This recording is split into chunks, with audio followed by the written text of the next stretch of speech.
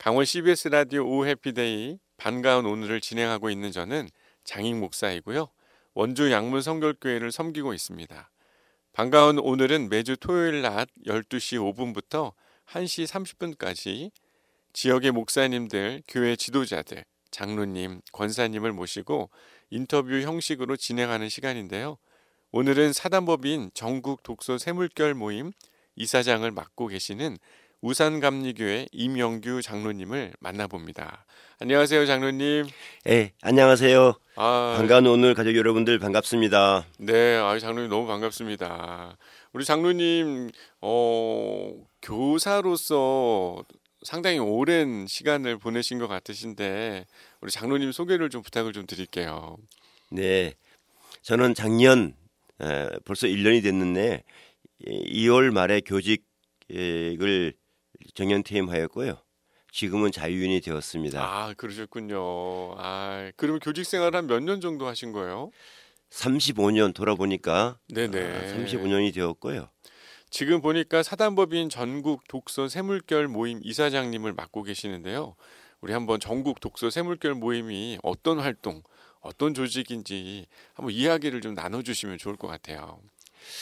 예, 독서 쇠물결은 전국 단위 초, 중, 고등학교 독서교육 담당 선생님 중심으로 이제 확대되면서 지역 활동가나 네네. 교수나 네. 도서관 관계자 또 국민들 예, 학부모님들 함께하는 조직으로 성장하게 되었고요. 네네. 저희들이 두 가지 중심 연구 활동을 하고 있는데 한 가지는 학교 독서 교육을 어떻게 정착시켜 볼 것인가. 아, 그리고 학교에서 머물면 이것도 의미가 없어진다. 그렇죠. 사회로 확산시켜 나가야 되겠다. 그래 우리 제자들이 벌써 사회에 다시 교사가 되고 중요한 부서에서 일하고 있는데 네. 그들을 통하여 사회 독서 문화를 확산시키는 일도 함께 해야 되겠다. 이 두 가지 축으로 그동안 독서생물교를 운영해 오고 있습니다. 아, 네, 정말 중요한 일이죠. 요즘 같은 경우에는 이 독서를 상당히 중요한 또 학생들이나 또 많은 사람들에게 필요한 부분이기 때문에 어, 우리 이사장님이 지금까지 해온 일이 참 귀한 일이 아닌가 이런 생각을 더 해보게 되네요. 아이고 감사합니다. 아, 그러면은 지금 되게 오래 전부터 평생 이 일에 해오셨다고 하는데 그럼 언제 이렇게 조직이 되고 언제 이렇게 시작이 된 거죠? 법인체로 만들어진 거는 2000년 7월 2일자였는데요. 아, 그렇군요. 그 전에 그 1993년으로 거슬러 올라갈 수가 있습니다. 네.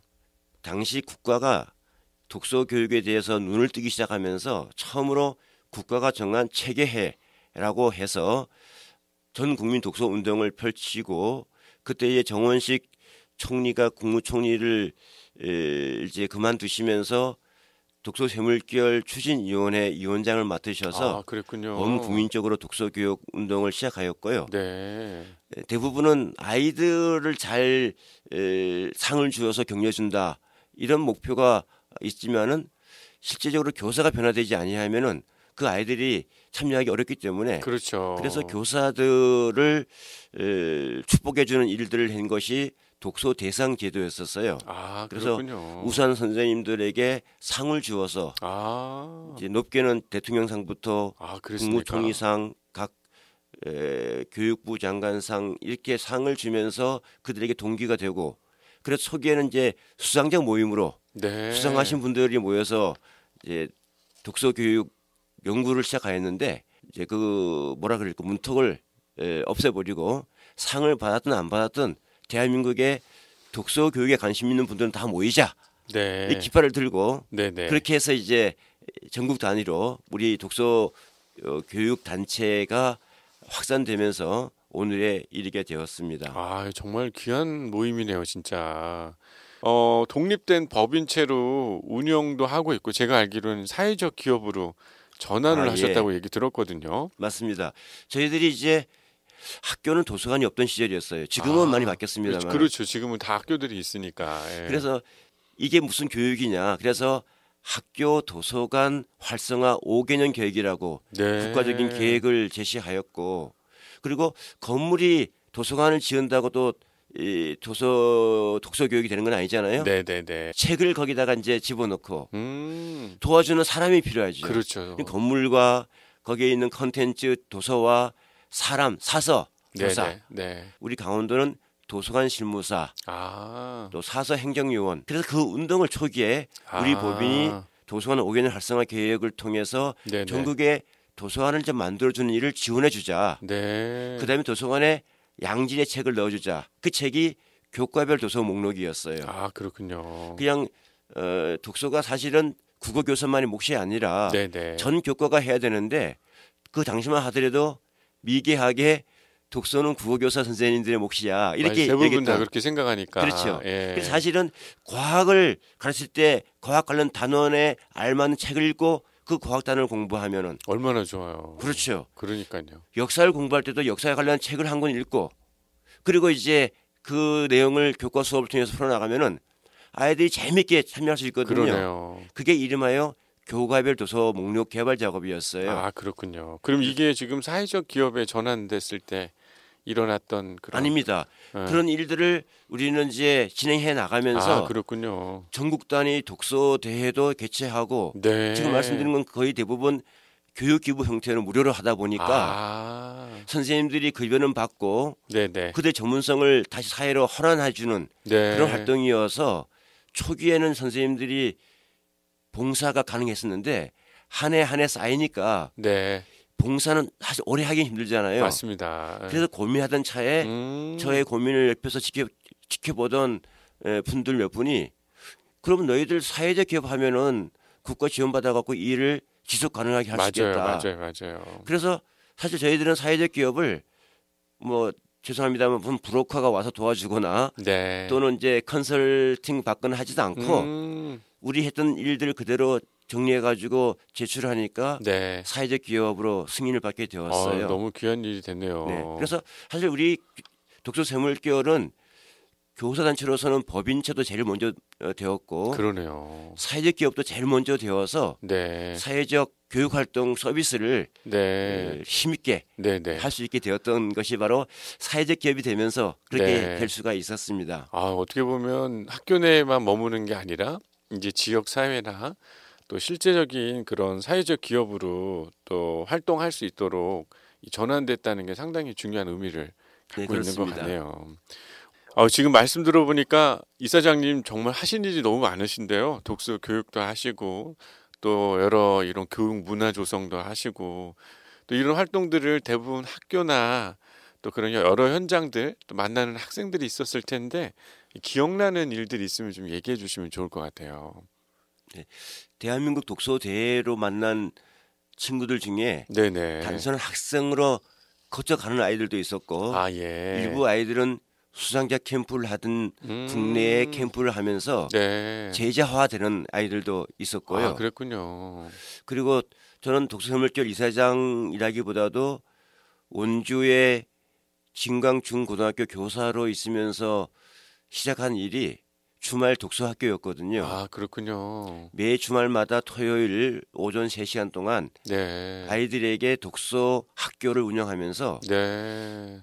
읽어야 될 책들을 제시해서 함께 읽고 읽은 다음에 사실 책만 읽어도 되는데 책만 읽으면 또 생기는 문제가 있어요. 음. 내 생각이 고정화될 수 있거든요. 그렇죠. 그래서 나누는 과정이 필요한데 음. 저는 그걸 토론으로 보았고 네네. 그래서 토론 학교 형태로 운영이 되었죠. 아 너무 좋겠네요, 진짜. 그래서 어, 그때 만난 아이들은 매주 만나는 아이들이니까 제자화가 되어서 아. 그래서 그 아이들하고 독서대에 참여했던 아이들의 또 제자된 애들하고 묶어가지고 네. 그들이 공동체를 만들어주고 야. 그래서 너희들 우수한 아이들이니까 어, 선생님이 뒤를 이어서 이 일을 맡아 이어갔으면 좋겠다. 네. 모세 뒤 모세의 뒤를 이어서 여호수아가 나온 맞아요, 것처럼 맞아요. 너희들이 이 운동을 이어가야 되니까 음. 공부 좀 잘한다고 깝치지 말고 법대나 뭐 맞아. 의대나 간다고 하지 말고 네. 교대나 사대를 가가지고 음. 다음 세대를 길러내는 일을 해야 한다. 네. 제 말을 뭐 들은 애들이 많지는 않습니다만은 금년에도 한 아이가 네. 에, 서울대학교 교육학과를 아 그랬군요. 이 친구는 에, 저처럼 교육에 좀 헌신하겠다는 와. 그러한 비전이 있어서 네. 다른 더 좋은 학과 네 네. 사실 도전 학과는 말이 애매한데요. 음. 돈을 많이 벌 수 있는 그렇죠. 학과로 그런 가려고 하던 맞겠네요. 마음들이 있었다가 예, 예. 어, 아이들 교육에 음. 헌신하겠다고 이렇게 지나가는 친구도 있습니다. 아, 진짜 어떻게 보면은 그 아이들에게 그런 교육적인 또 이사장님의 이런 노력, 또 실제 학교 선생님이기도 했지만 그런 만났던 아이들이 제일 많이 기억에 남고 또 무엇보다 또 후배들이 또 이런 좋은 교육적 환경과 독서 문화를 이끌 수 있는 후배 양성이 많이 기억에 남으셨나 봐요, 진짜. 네 그렇습니다. 그래서 어, 한때 이제 아이들 만나면서 진로 지도를 독서 교육으로 많이 하거든요. 요즘 학교에는 진로 상담 교사가 어, 세워지고 네. 사실 이것도 초기 양성 과정에 진로 상담 교사를 만들어야 되는데 그렇죠. 그 국가는 그런 계획이 없다가 뒤늦게 알게 되어서 기존의 교사들을 국어 교사 하던 분들, 사회 교사 하던 분들, 영어 교사 하던 분들을 전과를 시켜서 어. 그래서 이제 상담 교사를 만들었거든요. 맞습니다. 맞습니다. 1년 동안 이제 연수를 통해서 네. 그 저희들은 그분들을 전과자라 부릅니다. 아, 정과자. 그리고 전과자가 주는 이미지가 음. 제대로 애들을 지도할 수 있겠느냐라는 음. 그런 저희들은 걱정이 있는 거죠. 그렇죠. 그렇죠. 이제 초기 양성 단계부터 전문 진로 상담 교사를 양성을 해야 음. 학교의 진로 교육이 바뀔 것이다. 네. 저희들 그런 운동도 펼치고 있고요. 아, 그렇군요.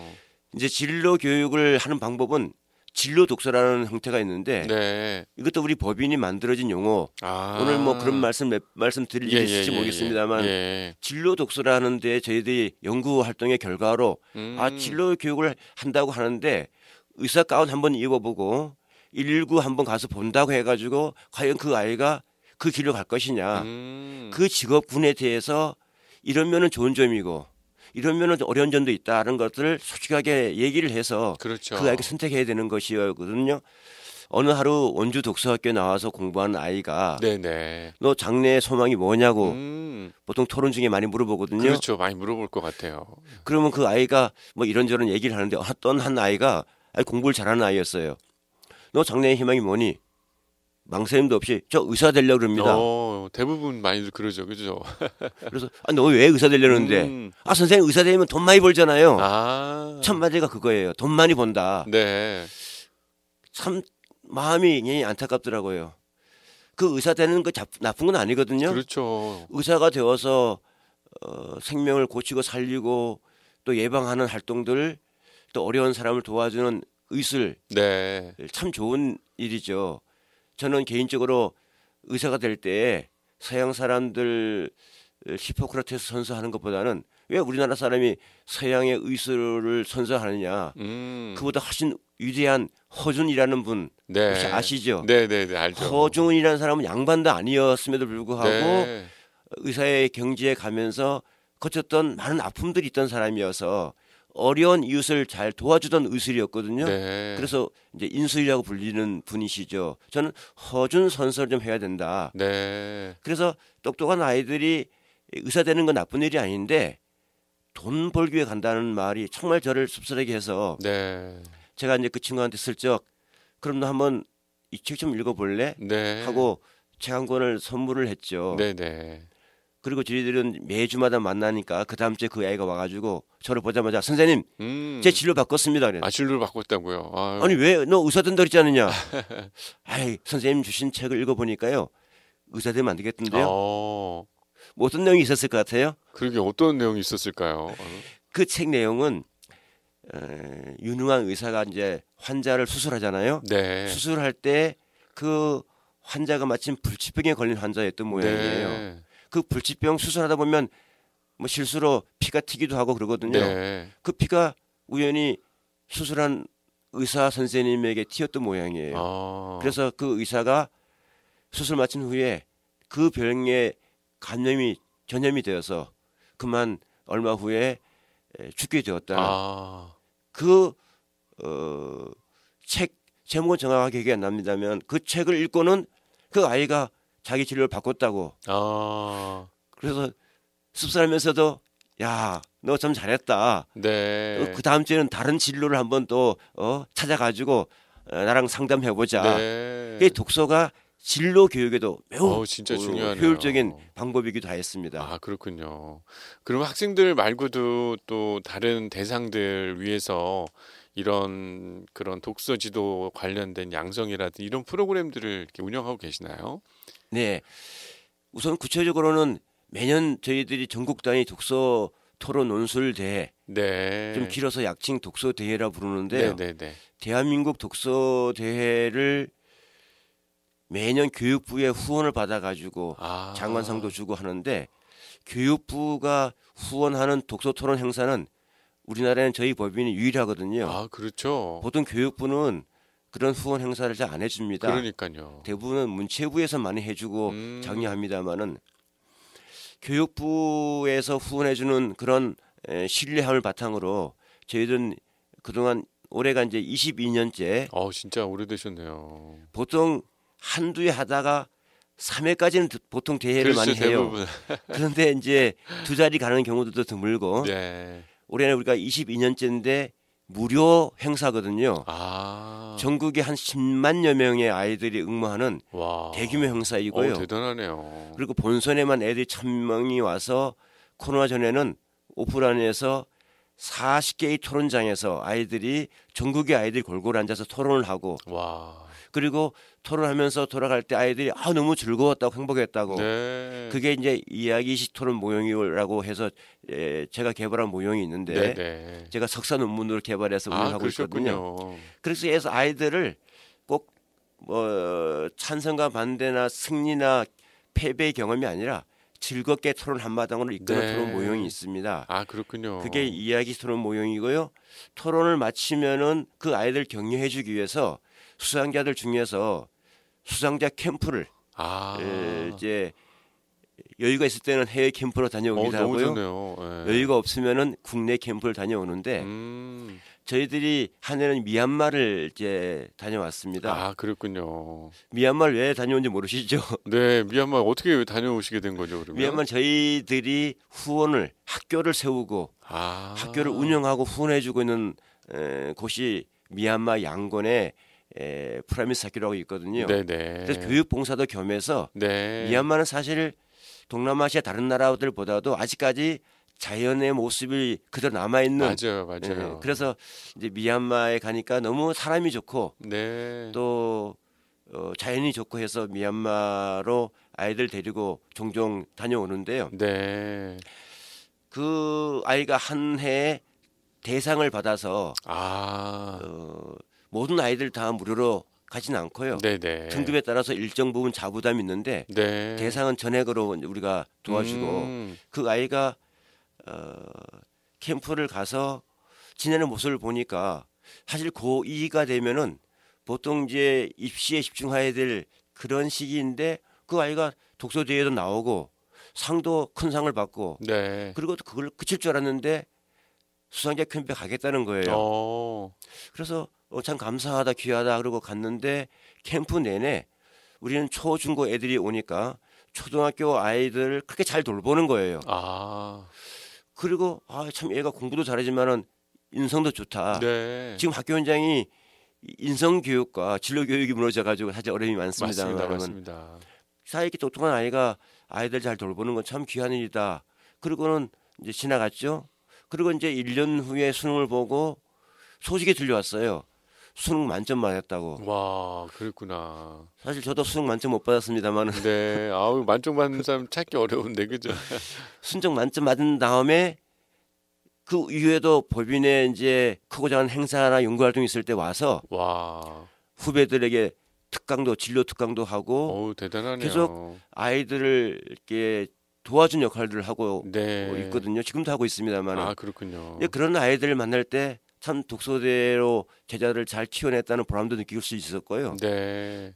주말마다 아이들을 가르친다는 게 사실은 내 일정에서 겹친 일정이 얼마나 맞아요. 많습니까? 맞아요. 근데 저는 무료 행사이니까 겹치면 우선순위를 여기를 둬야 된다. 네. 사실 돈을 받았으면 미루거나 할 수 있을 텐데 아, 오히려 아. 돈을 안 받으니까요. 괜히 오해받기도 싫고 네. 그래서 이제 꾸준하게 주말마다 아이들 만나는 일을 지난주도 했고요. 아. 이번 토요일도 또 할 겁니다. 아우 대단하시네요. 어, 진짜 우리 이사장님의 아, 이런 독서에 대한 열정 또 학생들에 대한 사랑이 인터뷰하면서 참 많은 그런 느낌들이 다가오는 것 같아요.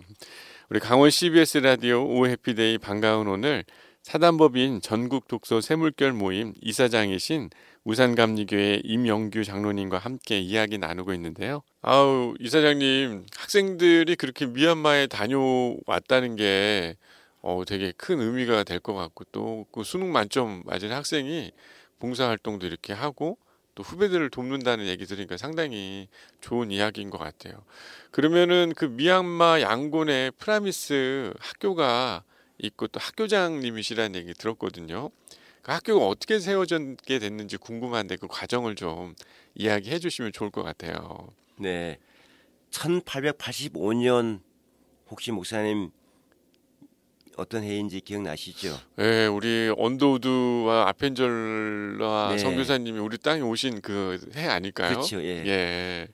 1885년이니까 벌써 138년 전인데 그러니까요. 부활절 새벽에 에, 우리 땅을 밟으면서 그 두 분 목사님이 선교 활동만 하신 것이 아니라 네. 사실은 교육 활동과 그렇죠. 의료 활동들을 하시면서 맞습니다.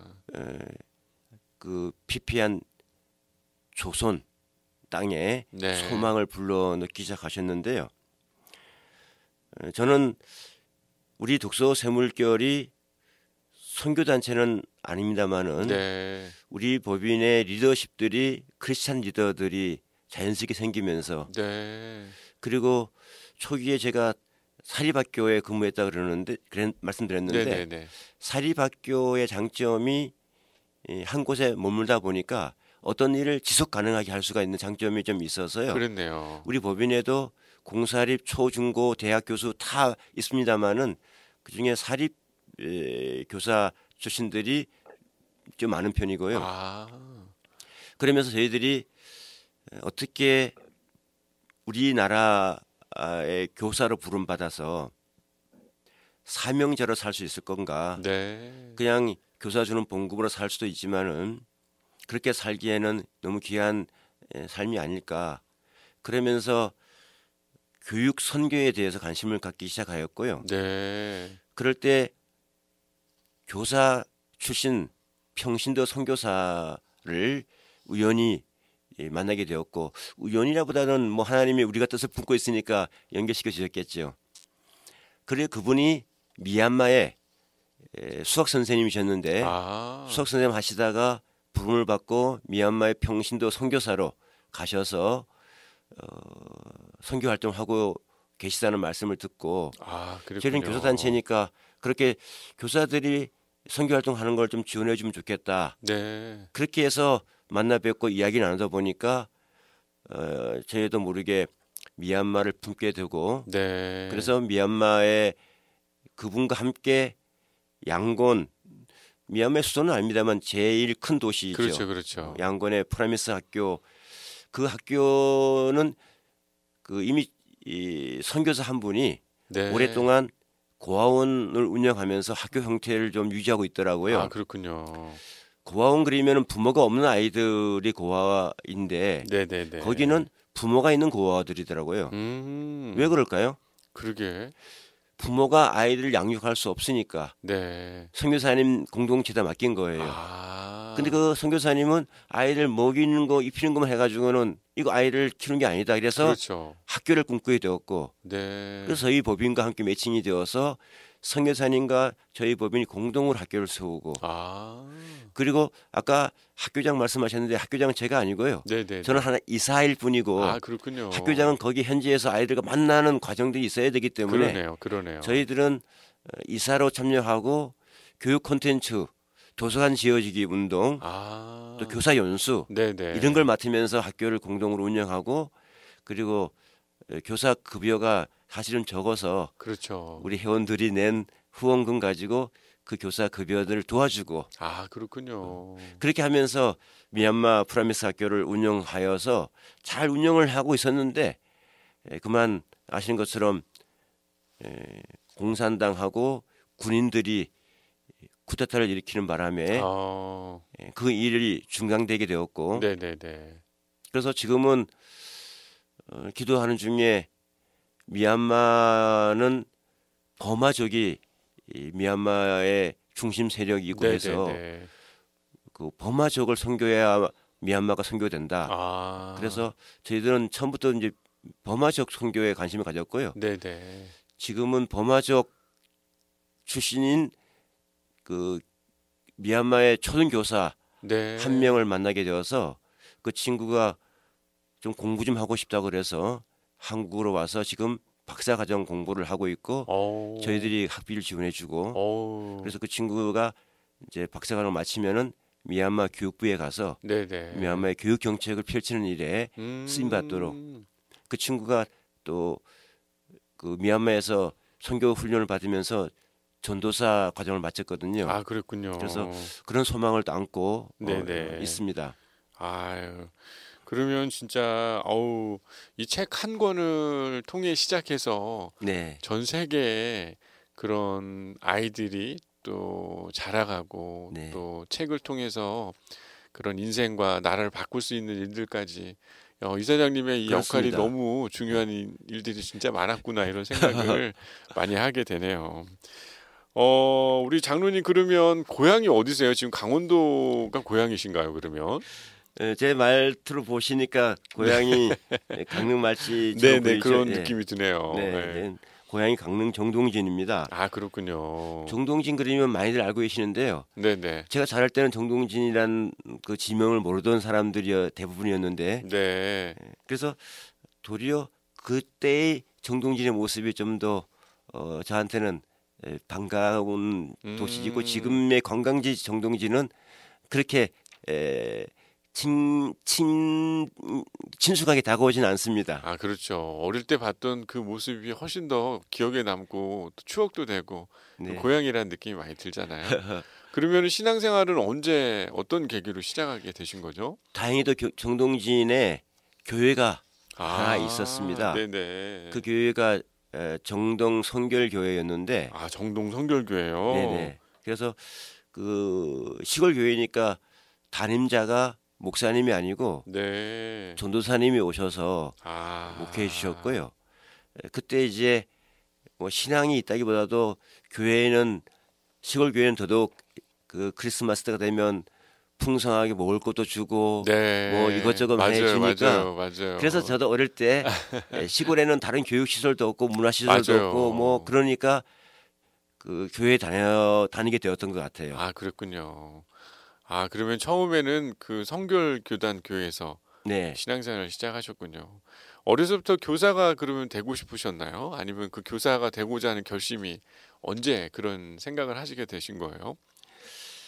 사실 저는 이제 시골 정동진에서 살게 되면서 정동진이 시골이다 보니까 집안 형편이 여의치 못하고 네네. 그래서 중학교는 강릉 명륜 중학교에 진학하게 되었는데 네. 제가 정동 초등학교에서 중학교를 간 친구들이 우리 그때 한 정확히는 모르겠습니다. 한 7, 80명 정도 네. 어, 한 반에서 공부했던 것 같아요. 그 중에 중학교를 간 친구가 한 10명쯤 될까? 아 그거밖에 안 되나요? 대부분 못 가던 시절이었거든요. 아 그렇군요. 그래서 지금은 선크루즈 있는 그 건물 밑에 있는 땅에 소목이던 친구가 아. 울먹이면서 야 영규야 내 목까지 공부 열심히 해 아 그랬군요. 어, 그러던 시절이었거든요. 음. 근데 그 친구는 선크루즈 밑에 있는 땅이니까 어느 하루 어 가부가 되었고 아 그랬군요. 저는 이제 에, 중학교를 마치면서 집안이 어려우니까 부모님이 이 아버님께서 어, 경제 현장으로 어, 함께 에, 아빠랑 같이 돈 벌러 가자. 아 그럴 때 이제 어머님이 교육에 대한 관심이 있으셔서 어, 좀 공부 좀 시킨 게 낫겠다. 네. 두 분이 많이 싸우셨고 네네. 그래서 해결책으로 금호 공고를 가게 되었어요. 아, 가게 그랬군요. 계획하게 되었어요. 금호 공고 목산장 모르시죠? 네네. 그 당시 이제 박정희 대통령께서 그 공업 입국을 해야 된다, 맞아, 기술 맞아. 입국을 해야 된다. 네. 그래서 어, 국가가 만든 예, 공고가 금호 공고이고요. 어, 전국에 지금도 기억하는 것이 전국에 3% 이내에 드는 아이들만 가는. 네. 어우 그 대신에 진짜 뭐 전액 국비로 지원해 주는. 그랬군요. 그러니까 돈이 안 들어도 되니까 거기를 가려고 마음 먹었는데 당시 중3 담임 선생님께서 영규야 너는 공고 가가지고 너 그거 잘 못해. 네. 너 그래도 그 진학 지도를 잘해 주신 거예요. 아, 그랬네요, 진짜. 인문계로 가야 되겠다. 네네. 그래서 아 선생님 저 인문계 갈 돈이 없어요. 그러니까 마침 명륜고등학교 아. 같은 재단이니까. 명륜고등학교에서 대학에 왜 사년제 특별 대학생 뭐 이런 제도가 있는 것처럼 그때 처음으로 고등학교에서 특별 장학생을 모집을 했어요. 아, 그랬군요. 강릉의 정서를 잘 모르겠습니다만 강릉에서는 주로 강릉 고등학교가 소득권으로 많이 맞아요, 대학을 맞아요. 보내니까 예. 그걸 극복하기 위한 사립학교의 에, 고육책이 아니었던가 지금은 아. 생각하는데요. 그때 저희들은 한 달에 교납금 내는 거는 물론 안 내고 한 달에 10만 원씩 도서 구입을 지원받으면서 생활했거든요. 아, 그렇습니까? 그리고 그 교실에 교무실 2층에다가 저희들 개인 독서실을 만들어 놓고 네네. 공부하도록 지원해주고 그런 이제 에, 명륜고등학교 특별 장학생으로 선발되어서 어, 공부를 하기 시작했고요. 저도 다른 제가 아까 전에 말씀드렸던 아이처럼 저는 문과니까 문과에서 돈을 많이 버는 데가 어딜까요? 교사 쪽이 아니죠. 아니죠. 교사가 아니죠. 법 법대 법대죠, 예. 그렇죠. 법대. 그래서 이제 이과 애들은 의대를 가는 거. 제가 그 의대 가는 아이들을 야단쳤다 그랬는데 네. 제가 그 당시에는 저도 법대를 가려고 그렇죠. 대부분 그 당시 때는 집안이 어려우니까 중요하니까. 예. 아, 이 집안을 지키기 위해서 내가 법대 가서 돈을 벌어야 된다. 근데 법대 가고 돈을 번다는 것도 저는 지금은 이해가 되지만 그 당시에는 아니 법대 가면 돈 벌까? 법대 가고 공무원 되는 거잖아요. 그렇죠. 그게 뭐 돈 버는 일일까? 지금은 이제 어른이 돼가지고 법대 가면은 이렇게 저렇게 돈 버는 루트가 있어서 돈을 네. 벌겠구나. 근데 그 당시 어른들이 법대 가라는 말을 듣고는 법대를 가려고 했던 거죠. 아, 그랬군요. 아, 그런데 이제 하나님께서 법대의 길을 꺾으시고 교사의 길을 갖게끔 만드는 일이 있었는데 그건 좀 말씀드리기는 좀 그렇고요. 네네. 어쨌든 대학을 지나갈 때는 에, 모 대학교 어, 국문학과를 에, 응모했다가 떨어지고 또 그 다음 차선책으로 국문학과를 또 네. 응모해서 이 교사의 길을 아. 그때는 이제 4대 국어 교육과가 아니고 물리대 국문과를 아. 그것도 저는 그래도 교사에 대한 것보다도 또 다른 마음이 있었던 것 같아요. 네네네. 그리고 그때 마대로 교사가 되는 거를 조금 낮게 보는 추도 있었기 때문에 그때는 에, 물리에 가서도 교육 과정을 다 100% 이수를 할 수 있는 그런 시스템이었기 때문에 네. 그래서 어, 교사의 길을 에, 하나님께서 저는 이끌어 주셔서 교사가 되었다. 그랬네요. 제 의지도 나중에는 생겼습니다마는 어, 다른 길을 가려는 마음도 있었는데 하나님께서 용규야 너는 교사의 길을 가야 돼. 네. 그래서 불러 주셨다 생각하고 네. 교사가 된 다음부터는 생활인의 교사가 아니라 사명자의 교사의 길을 걷겠다. 아, 네. 이렇게 하면서 이제 오늘날까지 이르게 된 거죠. 아, 너무 귀하네요. 진짜 이 한 선생님을 만나서 또 진로가 바뀌고 또 하나님이 그럼요. 정말 이 사명자의 교육자와 같은 그런 진로로 하나님 이끄셨다는 얘기가 아 진짜 많이 감동이 되는 것 같습니다. 강원 CBS 라디오 오 해피데이 반가운 오늘 사단법인 전국 독서 새물결 모임 이사장이신 우산감리교회 이명규 장로님과 함께 이야기 나누고 있는데요. 그런 소명을 가지고 교사로서 이런 활동들을 오랫동안 해오셨는데요. 특별히 이 직업에 이 신앙이 많은 영향을 미쳤을 것 같고 또 크리스찬이라는 이런 정체성으로 교사 생활을 하면서 많은 이야기들이 있으셨을 것 같은데요. 어, 그 신앙과 또 하셨던 일들 다시 한번 좀 이야기해 주면 좋을 것 같아요. 교사로 살면서 네. 물론 교사의 일도 소중하지만은 네. 사명자의 교사가 뭘까 이런 이제 생각을 하면서 독서 교육의 전문성을 찾기 위해서 네. 초기에는 연구도 하고 배우기도 하고 찾아다니면서 그 지금은 독서 교육을 다들 잘 알고 있지만은 그렇죠. 초기에는 독서 교육의 학무지 시절에 그렇습니다. 개척을 그렇습니다. 하고 독서 교육 운동을 이제 함께 하는 공동체로 만들어서 지금은 뭐 3만 7천 명의 회원들이 함께 하고 있는 큰 어. 조직으로 성장시킬 수 있었습니다. 근데 독서 지도 교사의 삶이 저의 삶의 전부는 아니고요. 네. 저는 제 인생의 삶이 두 축으로 어, 어, 진행이 되었다고 보는데요. 지금까지 만, 말씀드렸던 것은 독서 지도 교사의 한 삶이고 네네. 또한 삶은 기독교사로서의 에, 살아온 삶이 제 또 한 삶의 에, 모습이 아닐까 이렇게 돌아보게 됩니다. 네. 좋은 교사 운동이라고 들어보실 텐데요.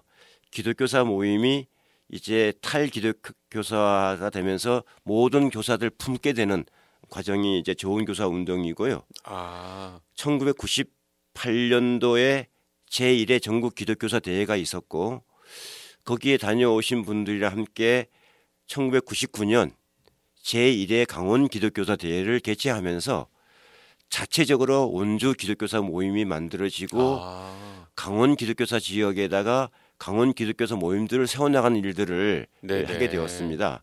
물론 이제 교훈교사 모임의 에, 적극적인 기도의 후원 협력을 받으면서 보통 교훈교사 운동은 어, 기윤실 뭐 CCC 또는 교사 선교회 TCF 이런 단체들 연합된 곳이 교훈교사 운동인데 네. 저희들은 드물게 지역 연합체로 아, 강원 모임 연합체로 참여하면서 좋은 교사 운동을 펼친 것이 또 펼치고 있는 것이 네네. 제 에, 교사의 삶의 또 한 축이라고 할 수가 있어요. 아, 그러네요. 저는 이제 기독 교사의 그 개념을 잠깐 말씀드리고 싶은데 보통 학교에서 기독 교사 중에 기독의 방점이 있고 교사로서는 좀 소홀한 분도 계셔요. 아, 맞아. 그럴 수 있죠. 그러면 차라리 기독을 안 내어 세우는 게 나을 수도 있기도 그렇죠, 하죠. 그렇죠. 근데 저분이 모 교회 장로님이신데 장로님인지를 정말 모르고 지내는 아, 기독 교사 중에 기독은 방점이 없고 네네. 교사에만 방점이 있어서 음, 저분이 교회 다니는지도 모르고 지냈는데 어느 날 보니까 어디 교회 장로님이신 아, 거예요. 그러셨군요. 그러니까 신분을 기독이라는 걸 내세우지 않고 그냥 교사로서만 부지런히 네네. 섬기고 뭐 승진도 하고 뭐 그렇게 살아오는 삶도 있겠죠. 네. 저는 이제 기독 교사의 정체성을 기독과 교사의 모두의 방점이 있어야 되겠다. 아, 그렇죠. 제가 최근에는 원주 직장 선교 연합회장이 되어서 섬기고 있는데 아, 그렇군요. 똑같은 원칙이거든요. 직장 속에서도 내가 어떤 직장에 직장의 과장으로서의 업무도 잘해야 되지만은 기독이라는 과장 으로도 잘 해야 되거든요. 네. 아유, 두 가지를 다 함께 빛과 소금의 역할을 예. 같이 해야 하는 게 쉬운 일이 아니니까 사람들이 기독이라는 말을 앞에 내세우지 못하고 그냥 Sunday Christian으로 그런 현장에서 살아가는 게 아닌가 생각되는데 그래도 장로님 또 그런 기독 교사로서의 정체성 또 앞으로 또 많은 신앙인들이 지역 내에서 직장 선교사와 같이 또 가정 선교사와 같이 그런 건강한 신앙 공동체를 이뤄갈 수 있는 주역이 되는 게 정말 중요하겠다 이런 생각을 많이 하게 됩니다. 장로님 그러면 그 교회에서도 많이 활동하시지만 지역사에서 또 시니어 독서 지도사 양성과 또 작은 도서관 이런 모임들을 이렇게 활동하시는데 그 이야기도 좀 함께 어떤 생각 또 어떤 활동들 하고 계시는지 이야기 나눠주시면 청취자분들이 상당히 많이 도움이 될 것 같아요.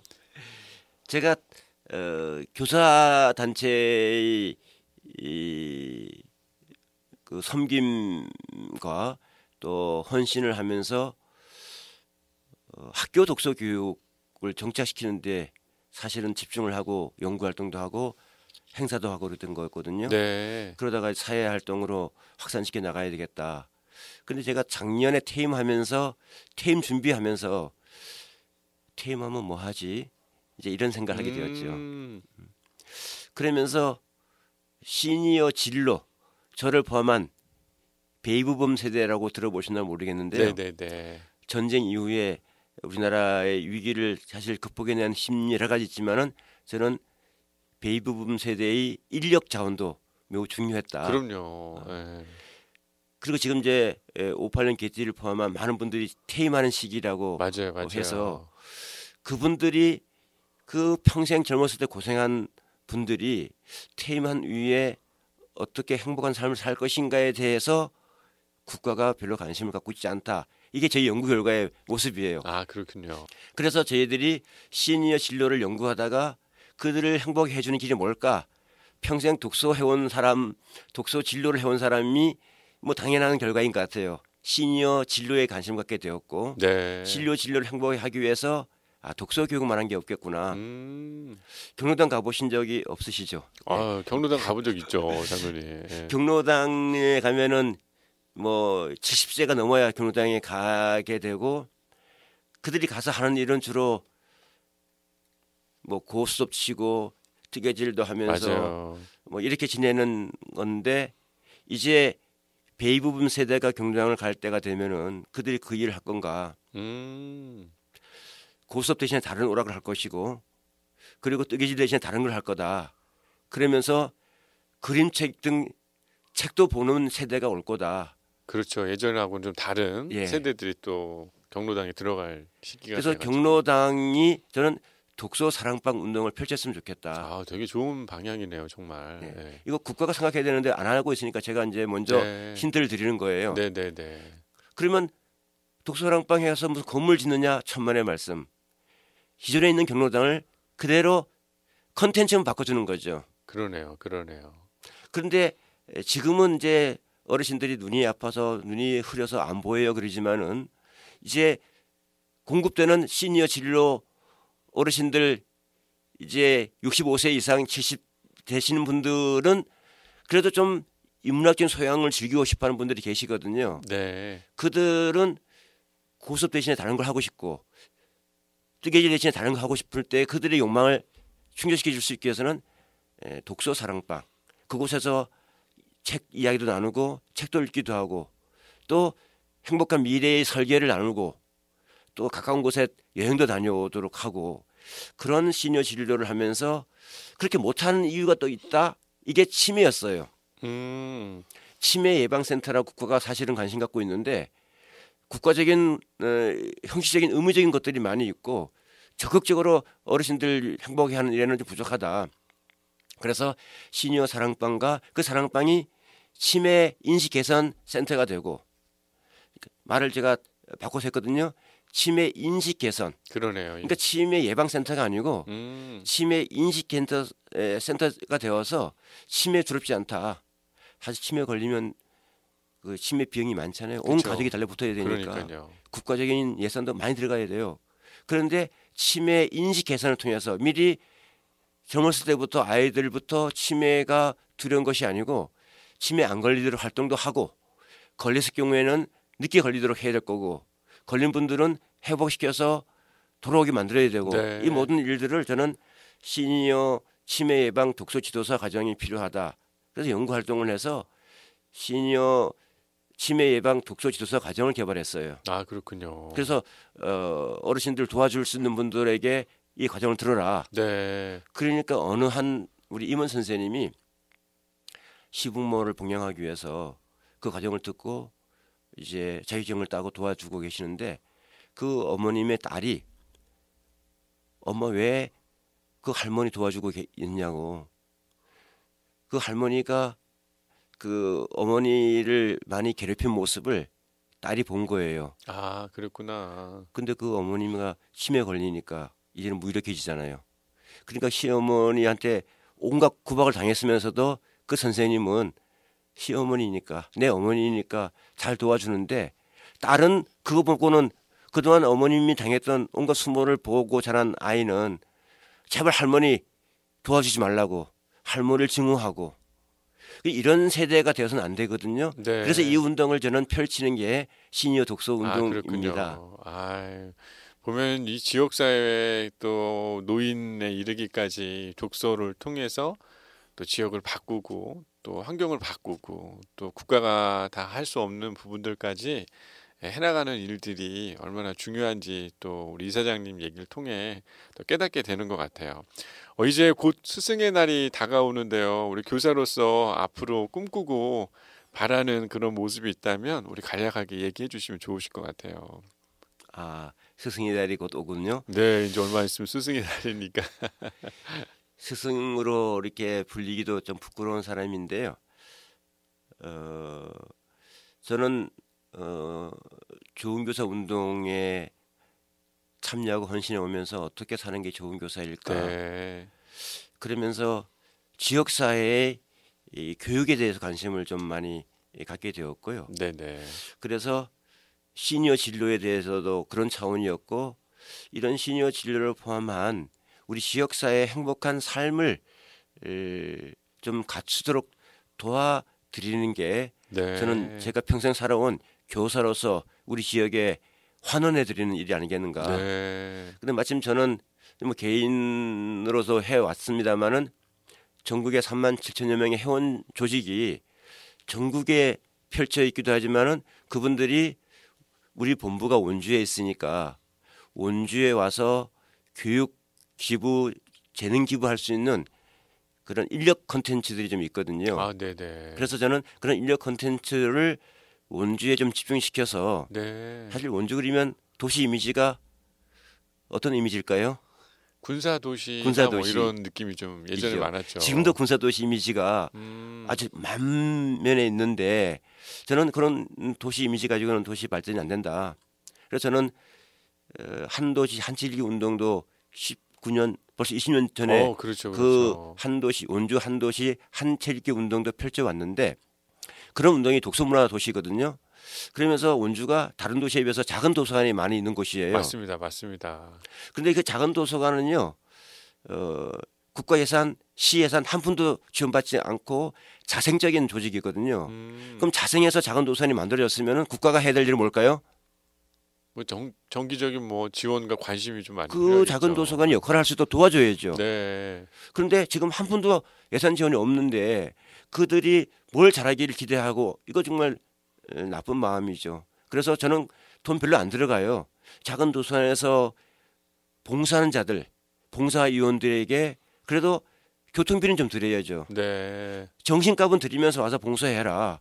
건물은 다 알아서 만들어 놓고 도서관에 책을 만들어서 지역 독서 문화를 이끄는 산실을 만들어 놓았는데 제가 들리는 얘기는 그런 것들에 대해서 기뻐하지 않는 모습이 좀 들려서 네. 도리어 지원해줘도 시원찮을 텐데 무슨 소리냐. 음, 그래서 제가 에, 그 원주 시정을 책임지고 있는 우리 원주 시장님께 좀 간곡히 부탁드리고 싶은 것이 그겁니다. 작은 도서관이 지역 문화 교육의 중심이 될 수 있도록 지원해 달라. 네. 건물 지어달라 예산 문제가 아니다. 음. 이미 있는 곳에다가 조금만 더 어, 그 어, 지원 예산 지원 좀 해주고 그리고 시장님 가끔씩 돌아보시면서 격려 좀 해주고 이게 마을의 중심이다. 그리고는 그런 일을 작은 도서관 살리기를 포함해서 낙후된 아이들 지금 코로나 이후에 아이들의 문해력이 엄청 떨어져 있다고 네, 네, 분석되고 네. 있거든요. 시험 문제를 풀 때요 문제가 뭔지 몰라서 정답을 못 푼다. 음, 이게 문해력, 미디어 리트러시 이 문제를 도와줄 수 있는 자원이 우리 법인에는 있으니 네네. 제가 가칭 그래서 원주 미래교육재단 아 미래교육재단 이름 좋네요. 예. 그래서 원주의 미래교육재단을 만들어서 원주의 곳곳에 교육 소외 시절에 작은 도서관을 포함한 소외 시절에 가서 교육 활동을 펼친다 그러면은 우리 원주 시장님 정말 에, 시민들이 칭송할 네. 시장님이 될 수 있겠다. 네. 저는 어, 스승의 날에 제가 또 그런 소망으로 어, 이, 이 지역사회에 뭔가 한원을 좀 해줘야 되겠다 이런 마음으로 좀 간곡히 말씀드리고 싶습니다. 아, 네. 아유, 진짜 이한 교사로 시작해서 지금은 지역과 또 나라, 또 많은 젊은 세대들까지 생각하는 그런 마음을 꿈을 가지고 지금도 일을 하고 계시고 또 부족한 부분들을 이끌어 가시는 우리 이사장님의 모습을 보면서 정말 복음을 가진 자, 또 기독 교사로서의 좋은 모델들을 아, 우리 이사장님을 통해 보게 되는 것 같습니다. 어, 정말 우리 교사님, 어, 어, 정말 우리 이사장님을 만난 우리 제자들 또 많은 지역의 시민들 또 독서와 관련돼 있는 많은 학생들이 아, 더욱더 우리 행복한 삶을 살 수 있게 되기를 한번 소망해 보게 되는 것 같아요. 우리 강원 CBS 라디오 오후 해피데이 사단법인 전국 독서 새물결 모임 이사장이신 우산감리교 이명규 장로님과 함께 이야기 나눠봤는데요. 인사 나누겠습니다.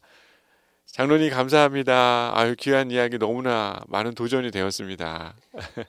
예, 초대해 주셔서 감사합니다. 네. 우리 반가운 오늘 에, 가족분들 날마다 좋은 일만 풍성하시기 바랍니다. 예, 장로님 감사합니다.